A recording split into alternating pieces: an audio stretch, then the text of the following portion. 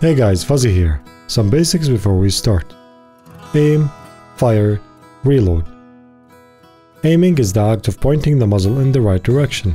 Firing is the act of releasing the projectile towards the confirmed target, and reloading is allowing yourself to do the first two steps again. Simple. But noticing what the pattern is, reloading is our most important part, because the faster it is, the more shots you can fire, which increases the chances of a win during PvP. We have three ranged weapons in the game. Each has a specialty. The Eye of Reach relies on high accuracy and range. Blunderbuss is close encounters, clutch moments, and rage quitting. The pistol relies on agility, which means quick movement and decisions. Depending on your playstyle, you can choose the gun. And as you all know, I'm a pistol person for a very long time. In an older video, I highlighted several pistol types and skins, how to improve your aim and which pistol would be best for you. In this video, I will cover hipfire and how no scope works, with the flintlock. It is essential to watch the aiming video before getting into this one, as understanding the offset of your pistol of choice will have a significant effect on your no-scope skills. On a quick note, only 16% of my viewers were subscribers. Upon rechecking my analytics, it's up to 30%, which is a fantastic growth and shows lots of improvement. So I want to thank you so much for being a subscriber. But if you haven't yet and feel like supporting my channel, please consider subscribing. The pistol has the fastest reload time, so it is an advantage over the other guns.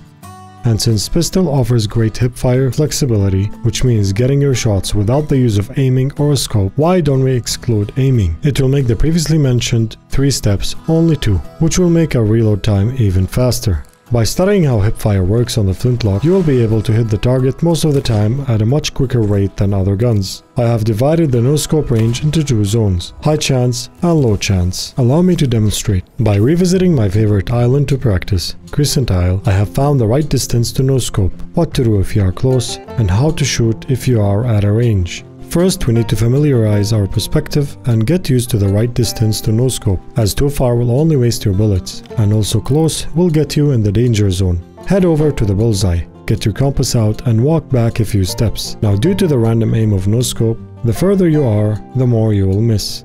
Keep in mind, walking backward with the compass gives shorter steps than forward, so do not test this walking away from the target facing forward.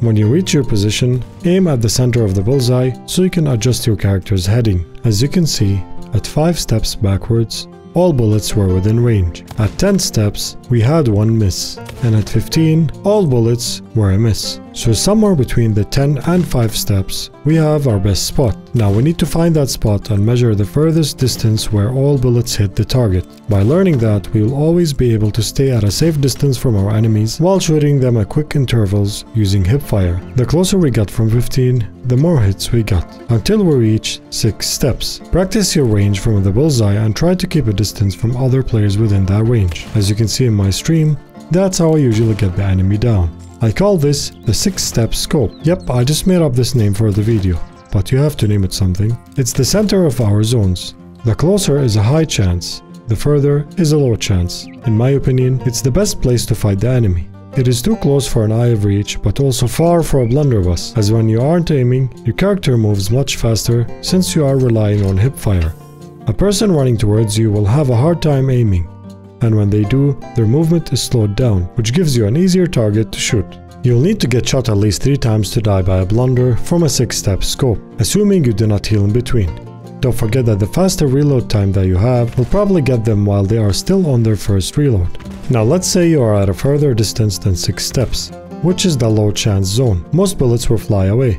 But there is one thing you can do that will get all your shots to be on the spot. But the reason why I use it as a second option it has a slightly slower reload rate. And remember, a pistol is all about speed, and we have to optimize that as much as we can.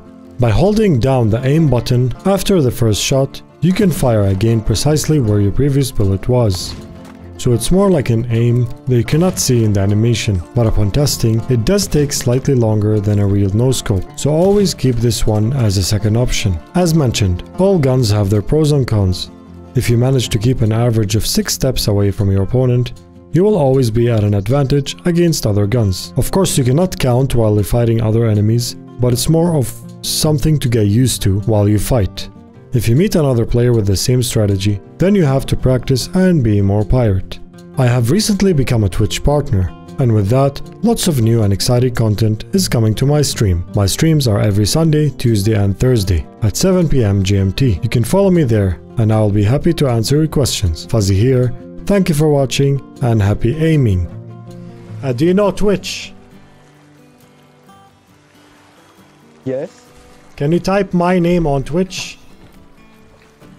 Okay, bro. Just do that now. do that now. Everyone's saying they love you because you're such an awesome person. Oh, That's how I said that I love baguettes earlier. Because I have French people in the chat telling me how to talk. it's so fun. I can speak French, some people? German, Hungarian, uh, Finnish, anything you want. With a little help from his viewers. I follow you. Thank How's you, he man. watching now? See, wa- wave to them. I'm the cameraman. Say hi, mom. Hi, Mom. Say hi, mom. I'm on. I'm on TV.